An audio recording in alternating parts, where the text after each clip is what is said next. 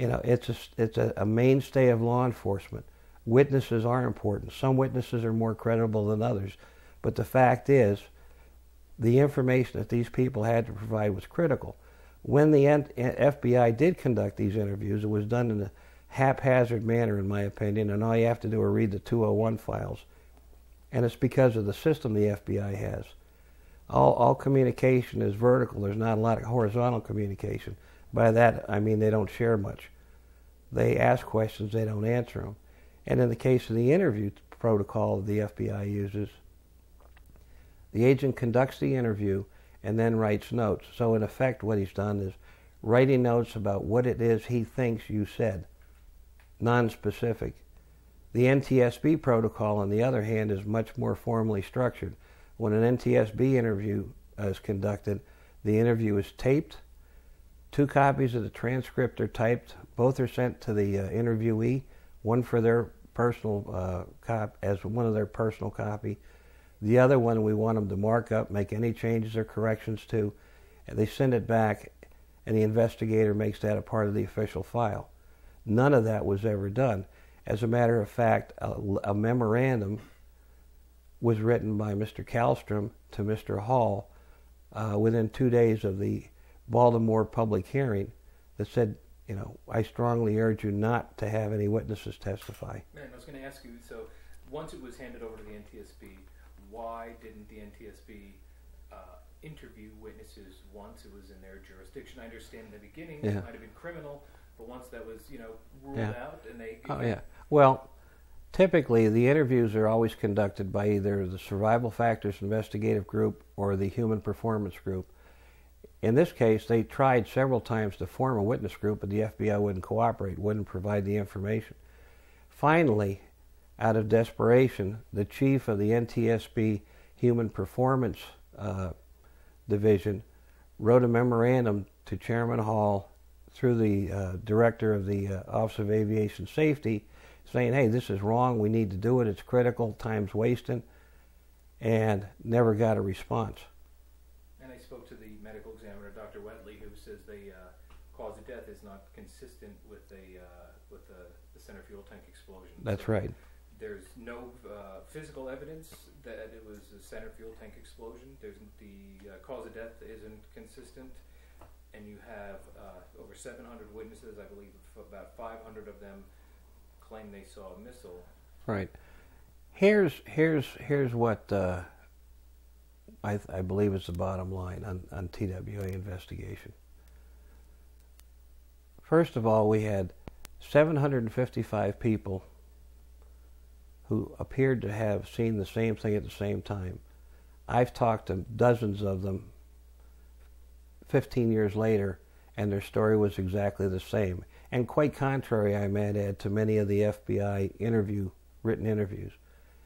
So you have uh, a large group of people who have no vested interest, who try to be good citizens and, and, and come forward and, and explain what they saw. You have the physical damage to the interior of the airplane, which we reconstructed from fracture matches and, and, and a lot of uh, a lot of hard work. And it showed that there was no correlation between the damage to the seats of the interior of the airplane and a center fuel tank explosion. And I have photographs, as a matter of fact. Uh, let me let me explain this briefly. This is a blue tarp that uh, I got at Walmart, but it's uh, laid out to scale, the exact scale of the floor of the airplane over the center fuel tank. If you'll notice, there are yellow and red dashed pieces of duct tape. Those yellow and red dashes of duct tape show where the floor was fractured, where it was torn apart. If you'll notice, this is the left part of the airplane. This would be the forward part of the aircraft. This is the right part. And again, this is only the seating area or the floor area over the center fuel tank that they said caused the explosion. As you can see, most of the damage is to the left side near the what would be the window area of the cabin of the airplane. So you're saying just leave that up for one second? I just want to get close. And you're saying if it was a center fuel tank explosion, the fracturing would be closer to the middle, not the exterior. Uh, it could be on either side or all, but it probably would have been all of it, and that's Yeah, that's another thing I'll I'll get into. gotcha. Okay. Yep, good. And then uh, I see you have something with Okay. the. After after we uh, laid out the tarp and, and scaled the uh, the damage, the fractures to the floor area of the tank, we took the seats that we were able to verify and recover came from that area. If you'll notice, from the front of the airplane to the back, from the right side of the airplane to the left, just looking at it visually, there's no there's no uh, pattern to the damage to the seats. Some of the seats are in, in uh, almost new condition. Some of the seats were destroyed almost beyond recognition. Some of the seats were burned. Uh, some of the seats had the uh, materials ripped off the the uh, the seat back and seat pan, but there's no pattern. In every other case I've investigated over the course of my 43 year career, there's a pattern to damage. If there was a fire, for instance, and it started in this area, it would have emanated from this point, and you'd see thermal damage to the seats and the interior of the airplane, as well as thermal injuries to the victims. But from front to back, from right to left, there's absolutely no correlation between the damage to the interior of the airplane, the seats specifically, and the victims. They did correlate. So for the layperson, you know, the viewers that, that, that aren't familiar with, you know, accident Yeah. reconstruction, in a nutshell, just explain uh, why that picture shows uh, that uh, it it's it's uh, not consistent as you're saying Yeah. with the center fuel tank Yeah. explosion. If it had been a center fuel tank explosion, the eruption from the fuel tank would have come through the floor somewhere in here. There would have been a burn pattern. There would have been thermal damage. There was none of that. All we saw was random damage with no pattern. There was no consistency to either the damage to the seats or the floor or the victims. And the victims' injuries correlated with what we found and documented as far as the, the uh, passenger seats were concerned. Gotcha. Thank you. And then you mentioned you can just hold that up again. Well, we'll, we can shoot that later. Real quick before I forget it. It's, it's more cutting for ILM.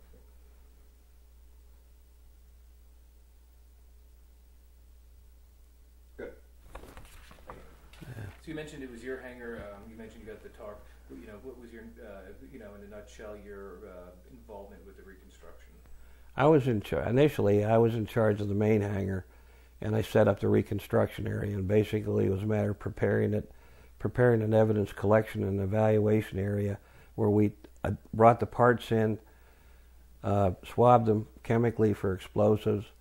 Uh, in some cases, we X-rayed them initially, and then once the part was identified, uh, we laid it out in the main hangar. And it was a fairly simple process, but a lot of very laborious. But uh, all I did was take a, a roll of duct tape and lay it down the length of this hangar, several hundred feet. And then, as we would find, and I marked off what they call the, the, the keel line, and I marked off station marks every foot along the length of the airplane from the, the nose of the airplane to the tail. And then, as we got apart, if it came from the right side back near the wing area, we laid it in the hangar in the appropriate area where it would have been located on the uh, the intact airplane. From that, one of our civil engineers, uh, uh, Lawrence Jackson, was brought up from Washington, and Larry d- developed a steel cage, uh, which is what we put the area of center fuel tank around. Uh, unfortunately, they they uh, didn't save the whole airplane. The only thing that was important to them were the seats and the uh, and the fuselage reconstruction and tank uh, over the center fuel area. The rest they had unceremoniously scrapped. But including the wings and. oh yeah, yeah, yeah, and uh, they never notified the parties. I know uh, the chief investigator for TWA has attested to that. And to go back to the FBI, uh, I spoke to Chairman Hall, and he said that the reason that there was uh, so much FBI involvement was that they had more resources, investigative uh, manpower, that the NTSB is, uh, uh, you know, on a smaller budget, and that uh, you know they welcomed all the help they could get because it was uh, a big uh, investigation. You? Well, it's a matter of his opinion. I don't agree with it. Um, the fact that uh, the FBI could have helped us out, uh, or the ATF, which did, uh, would have been a plus. But we certainly have more than one go team. Uh, in fact, in this case, we brought highway investigators up. The gentleman I told you did the developed a steel cage to hang the parts on uh, was a, a, highway accident investigator.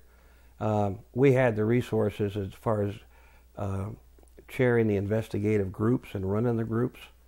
Uh, we had the uh, Airline Pilots Association accident investigation team. We had the uh, IAM, the mechanics. We had uh, TWA, the resources there. We had all of the resources of the Federal Aviation Administration we could possibly want. Um, we had New York State Police who participated. Uh, detective from Suffolk County was was uh, crucial in developing uh, some of the uh, the aircraft uh, interior diagrams and analysis.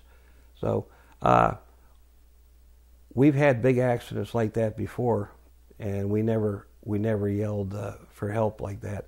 That's not to say we wouldn't ask for it. We've never, you know, the NTSB's always work cooperatively cooperatively with other agencies but I, I absolutely don't agree with that. And the sad part is, uh, if Mr. Hall said that, uh, I guess my biggest point of disagreement is who's in charge. If the NTSB had the statutory authority and responsibility, why was it why was it relegated or, or handed over to the FBI? And, and, who was in charge? Because at first, you know, they didn't know if it was a terrorist or a uh, you know a, a missile or a bomb. So who is in charge if, if it is a, a, potential criminal matter, but the NTSB is, you know? Well, it, I think the dynamics of uh, uh, Mr. Kallstrom's personality was part of it. Uh, you know, he's he's no uh, he's a Type A personality, and I you know I like to think I am too. But he had he had FBI resources available, uh, and he decided he was going to use them because he was absolutely convinced at the time it was a missile. And I think if you look at some of the media film footage especially at the time, uh, he was very definite about that. And I remember uh, talking to Dr. Bernard Loeb, who was the director of the Office of Accident Investigation at the time, and he said, "Don't don't uh, get too much involved in it. It's going to be a missile." And I said, "Bernie." It's either one of the greatest transportation tragedies in American history or one of the greatest mass murders, but either way, you know, this isn't a building the FBI is going to need us if in fact is a missile to put this airplane together. You know, it's it's uh, there's there's a need for our technical uh, expertise, and you know, if they take the lead, fine, but we need to help them. And uh, you know, a year and a, almost a year and a half later, I finished my work in Flight 800. But um, it's almost it's almost as if the uh, the NTSB senior management just acquiesced to whatever the FBI wanted to do. And then, of course, you had the involvement of the CIA, which, in my mind, that uh, uh, uh, the animation. Animation, yeah. I was going to call it a cartoon, but it's too cruel to. The animation that the F, the uh, CIA and FBI put together, uh, CIA did it at the request of the FBI, was interesting. Uh, First of all, I think it's a violation of federal law because CIA was involved in psychological operations in that case uh, targeted against the citizens of the United States. The information, and they've admitted it, we have all the documentation. We sued them and the FBI through FOIA successfully. As I said, we spent 15 years putting this together, and we got an acknowledgement. The CIA didn't even talk to the witnesses, let alone do any uh, field investigation in putting that animation together. If you'll recall, it was published or publicized, and within three days, the NTSB said, "Hey, that's uh, so outsta- so uh, outrageous, uh, it can't be used." And uh, subsequently, the uh, the NTSB came up with another cartoon. Yeah, there, there were there were two, one NTSB and CIA. Yeah. In a nutshell, why were yeah. they different? Well, basically, the uh, the CIA wanted to portray a center fuel tank explosion uh, they didn't have the information that they needed as far as the telemetry or, or radar data uh, accurate. Uh, for that matter, they they hadn't uh, uh, looked at any of the witness testimony.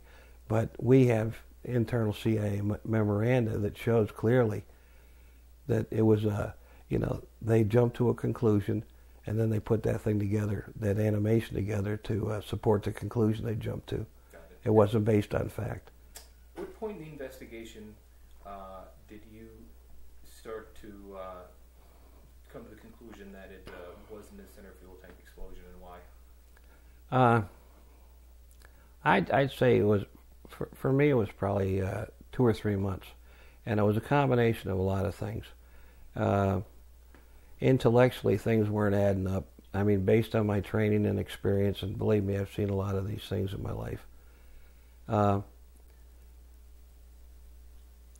when you investigate an accident and you're doing a reconstruction of a vehicle, for instance, it's almost like watching an old fashioned Polaroid picture develop.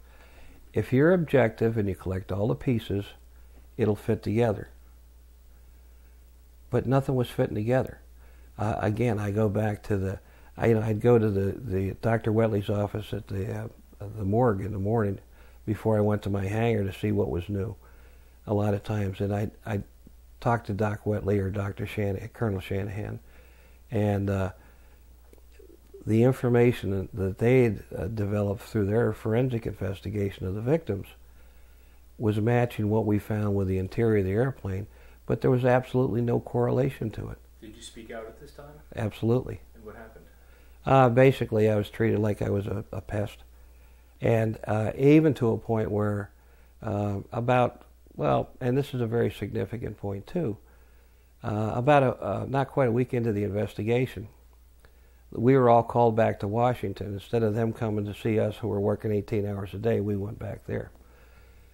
And at that meeting, my whole team was there, including the investigator in charge, Mr. Dickinson, and I said, "Look, we planted the flag, we got things started, but we need the absolute best best we can find." As it turned out, the NTSB sent a gentleman up there who was uh, a nice man, but not even qualified as an air traffic controller. But he was in charge of that group. And he was sitting there. In fact, he was sitting right next to me.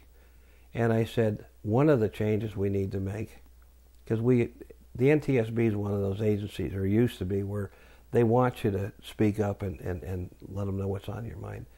And we used to do it in a, in a polite way, but we let people know when we saw a problem. At any rate, at that point, I handed a piece of paper with a name and a telephone number to Mr. Hall. And as it turned out, that gentleman was a retired NTSB senior air traffic control investigator. He was the best in the business, is regarded as the best in the world, even today. I, I explained to Mr. Hall that this is this is the guy we need. We talked to him at home, and that he had agreed uh, out of a sense of patriotism to help out. I might add that the deputy director of research and engineering supported me on this. He said, "Yep, there's no question." He'd worked with him for years. Mr. Hall never called the guy, never even followed up on it. About two or three days later, I was back at the hangar. Mr. Kallstrom walked in, assistant director of the FBI, and I said, "Look, we need the best ATC guy we've got on this thing." And I said, "You know, they don't seem to be doing anything." And I handed him a piece of paper with this guy's name and phone number on. Within 20 minutes, he was hired a consult, as a consultant to the FBI. And I said, I'd like you to have him make sure he delves into two areas. In addition to the air traffic control, have him look at VTS, Coast Guard Vessel Traffic Service radar, for surface radar information. The man involved did a, collected all the information, all the same information that the NTSB had and developed it for the FBI.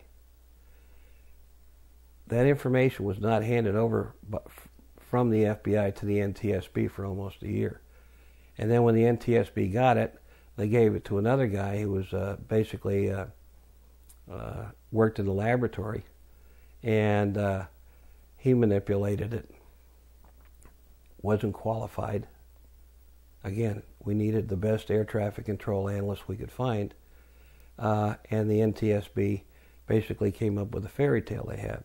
What's interesting is that original data that was developed by the FBI through this, this consultant has stood the test of time. It was absolutely accurate information. And it shows a couple things. First, it shows the airplane at about 15,000 feet, doing about 430 knots, if I'm not mistaken. And at the time of the explosion, out the right side of the airplane, there are radar hits of an object moving in excess of Mach 4. If I'm not mistaken, that's close to 6,000 miles an hour, plus or minus. Now, What travels at that speed? uh, there, well, it, it, it could have been, you know, it could have been a bomb, could have been a missile. Uh, what what's significant about it though is it couldn't have been a center fuel tank. The center fuel tank in that airplane is about six feet high. It ha- it's about uh, 20 feet by 20 feet, and it has four metal baffles in it to keep the fuel from sloshing around. We know from records and documentation that the center fuel tank had that much fuel in it. It sat on the ground for almost an hour and 15 minutes before takeoff, and there are two air conditioning packs under it, so that would have heated it up. If in fact that had ignited, it would have caused what they call a deflagration. Without getting too technical, a deflagration is a low ordnance explosion, speeds of less than 790 miles an hour. So compared to something that people relate to, what, Right. what is a, that type of explosion? Well, it, like? it's like the difference between a bang and a burp. Uh, the, the the debris going out the right side of that airplane in excess of Mach 4 was the cause of the downing of Flight 800. If it had been a, a, a, uh, a, a deflagration in the center fuel tank, you would have seen thermal damage to the floor, the area above it. You know, you don't have an, a, a low ordnance explosion. That's what it is technically without thermal damage, melted metal, singed, sooted uh, seats. Uh, for that matter, physiologically, 15 of the people were alive when they hit the water. I'm not saying they were alive, but that's what the medical examiner's report indicates. It's not a secret. So in the autopsy, if if that had been the case, they would have probably found soot in people's trachea. Uh, there would have been physical evidence to support that. They found none. Then you look at the issue of the uh, the center fuel tank explosion and the uh, probable cause. At the NTSB board meeting, Robert Swaim, the systems uh, investigator for NTSB, got up and said, and it's on the internet, you know, we found no physical evidence to support that the chafed wire in the center fuel tank caused the explosion, but we believe that's what happened. Now, let me ask you a question. Since about 1954, when the Gloster Meteor, the first jet powered passenger airplane, went into service, until today, right now, this minute, how many airplanes have had center fuel tank explosions, passenger airplanes? Now I'll answer the question I asked you. Two, Philippine Airlines had a bomb that was placed under a passenger seat over the center fuel tank. So we were able to document that one. It was a bomb. And then we have Flight 800. Now, that spontaneously exploded? that have had any problem with an explosion of a center fuel tank. And and was the, was the center fuel tank uh, reconstructed? Was there ever Oh, yeah. a test performed to see recreate those? Well, they tried to, but they couldn't. Did They, it explode? Uh, yeah, but they blew it up with propane. I mean, the, the, the test they did was so unscientific. The other thing that's interesting too is they said initially when we were going to run the the, the uh, exemplar test was that we couldn't do it in the United States because there weren't any 747s available and blah blah blah. Well, I could, you know, we went out to uh, the Mojave Desert. My team and I went out, and uh, we did some explosive testing. There were a lot of old airplanes that would have been, been available, but instead of that, they went to Bruntingthorpe, England. And I remember a couple days before we went, I said, "Okay, what's the test protocol going to be? You know, what what did, did you have in mind?" And next thing I know, they said, "You're not going. You're not going to participate." And the test was a failure. Uh, you know, the other thing that they never bothered to tell anybody about, and the NTSB completely broke investigative protocol all the way through this thing, keeping information from the parties. That they never have done that before. Chairman Hall said that the NTSB relies on the people, uh, the investigators on the ground. Yeah. And you, you were an investigator on the ground. Right. And you were mentioning that you uh, didn't believe that it was a center fuel tank explosion. Right.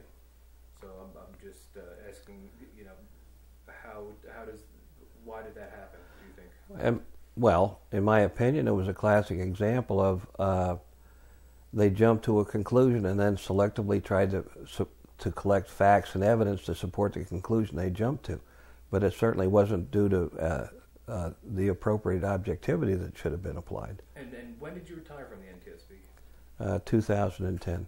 And uh, recently, uh, you did you submitted something to the NTSB. Yeah, that. yeah. We I submitted a petition for reconsideration. When I say I, my, my team and I, I was the person that signed it, and we submitted it to the NTSB, and uh, we didn't hear anything for a long time. And finally, we asked for a meeting, and uh, uh, a couple months later, they agreed to uh, to meet. And, and our purpose for the meeting was to sit down with their technical staff that had been assigned to review our petition to answer any questions. And we told them, hey, we don't expect you to believe anything we say. Ask us, we'll show you the facts. And I say that today. And unfortunately, when we met with the NTSB and thought we were meeting with the technical staff, we wound up meeting the general counsel and four lawyers and, uh, and, and uh, uh, another uh, staff member. And they didn't want to hear it. Did and the sad did you have part, New information. oh yeah, Because they said that no, they they absolutely there was no new information, they either no can't- reason to. they they either They're- they either can't read or they they're completely ignoring the facts. Can you bottom line that the, the just some of the new Oh, yeah. information you, you brought to them? Well, first of all, witnesses they never bothered to even talk to them. Secondly, the radar data that shows uh, objects re- uh, being released out of the airplane's right side in, in excess of Mach 4. The absence of, of uh, uh, uh, evidence that a center fuel tank exploded. The autopsy information as well as the correlation of the uh, damage to the interior of the airplane. The only thing that could have caused that was a very high energy event, an explosive, not a deflagration. Like I said, it was a bang, not a belch. Uh, every aspect, every aspect of our, our petition for reconsideration was based on fact, either facts that were overlooked by them, misconstrued, or completely ignored. and were those facts uh, any of those brought up in the hearing that they had? You, No, well, you know, the public hearing in Baltimore, I mentioned it earlier. Uh, it kind of reminded me of the movie Citizen Kane. I mean, I was embarrassed to walk into this auditorium. But the sad part is, we were, for the first time, required to write a script and then sit there and read from the script. And if you watch, if you watch my uh, my testimony at the the public hearing, you know, I, all I was was a talking head. I didn't say anything of any substance because I wasn't allowed to. Witnesses, as I said, Mr. Kallstrom sent a letter to Hall a couple days before and said, hey, don't have any witnesses testify. So guess what? They didn't. The parties to the investigation, and in particular uh, TWA, was threatened by the general counsel of the NTSB, Daniel Campbell. And that's not hearsay. I was there. I saw it happen, and there are witnesses to it. Uh, the the whole thing was controlled, and you know was initially the FBI muddled it, and then the NTSB uh, continued the operation, either through incompetence or in- intent. you, how does it make you time into it? Um, you're very invested in it, obviously. Um, how, how, how do you feel personally that uh, you you you know dedicated so much time to this Well- agency, and you're even putting your own time into this? and Well, that, uh, yeah, and- and that's- falling on deaf ears. That, that's another thing. None of us have have had any intention of any gain. We just want to tell the truth because we believe in it. My team's made up of retired pilots, retired FBI ag- supervisory FBI agents, uh, a wonderful uh, medical team with Dr. Wetli and Dr. Shanahan. All of these people are doing it out of their own pocket because it's something we believe in. We came to this realization after almost 15 years of research and work. And I have to say, the major share of the work was done by Dr. Tom Stalcup. As for me, I've been an investigator for 43 years. This is the first case I wasn't allowed to finish, and I like finishing my work. Uh, when I testified before the Senate, I knew I was falling on my sword, but you got to do what you got to do. Uh, there are 230 dead people. They're the only people that count as far as I'm concerned. we've had many, many family members come to us and, and be very thankful.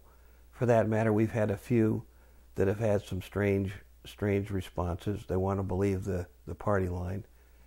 And I'll be the last guy in the world to, to, to uh, criticize them. They have a right to feel they want to, but I've got to do what I know is right. And, and that's why we do it. We all feel exactly the same way. And we all decided when we put the documentary together and the petition for reconsideration, and we're working on things now too. We weren't going to quit, and I told the general counsel that, and I guess he didn't believe me. Uh, but we all feel the same way about it. It's it's it's a wrong that's been done. It needs to be corrected. And how does it make you feel that uh, you know this is you've had this long career of investigating police work, and that uh, there's this there's this case with 230 souls that is uh, you feel that is not closed. How, how do you how does that personally make you feel when you sit and think alone? Very angry. But the sad part is, and I'm I'm not, I'm not a political person. But the government is there to serve the people, and we did them a disservice. Uh, the, the, and, you know, there there's so many aspects of this I could talk about. Like the FAA waited years to even think about sending out a safety recommendation because they knew the NTSB's conclusion was baloney. Uh, you haven't seen any major retrofits. For that matter, have we seen any other center fuel tank explosions? No, because there have only been two. One was a bomb in Flight 800. Now, in the case of Flight 800, as I said, there's no physical evidence. In fact, even Mr. Swaim at the NTS board meeting said we had no physical evidence to support it. And Mr. Hall said that when I interviewed him. Yeah. Well, there you are. That means our job's not done, is it? Uh, And I like to finish my job. and uh, have you received any uh, financial compensation since you retired uh, to to pursue this? Absolutely not. In fact, we've been funding it out of our own pockets. Uh, the the film was was I understand was uh, uh, funded by uh, Lionsgate or Epic Films. Did you get paid by No, Lionsgate? no, absolutely not, not a penny. And uh, in fact, I've contributed significant amount of money out of my own pocket over time. Mr. Hall said that uh, uh, you guys uh, doing this for financial gain. Well, yeah, it's interesting. What do we have to gain? It's an absolute document documented fact. I'll be glad to show you my income tax or anything else you want to see, my checkbook, uh, and the other guys would too. Uh, in fact, in the case of Dr. Stalcup, he's damn near been put in a poorhouse because of something he believes in. Uh, but I, I think that's absolutely outrageous. You know, that's like Kallstrom, Mr. Kallstrom saying on TV, I don't know the guy, but it's sad that they wait to get their pensions and then file a complaint. Well, I've been complaining since we were in Long Island. I testified before a congressional subcommittee and told the truth. My career went right down the toilet, but instead of instead of, of uh, having a, a bad attitude, I kept collecting information. We put a team together. I found five other like-minded investigators, and we developed the truth. We had to sue people, the FBI and the CIA under FOIA. We interviewed the witnesses, something they'd never done. So, you know, I take great exception to that. And, it, you know, uh, I could say all sorts of nasty things about Hall and Kallstrom, uh, but, you know, I'll, I'll stand on my work. The only thing that either of those men, or Gold, Peter Goelz, have been able to do on television is attempt to malign our character.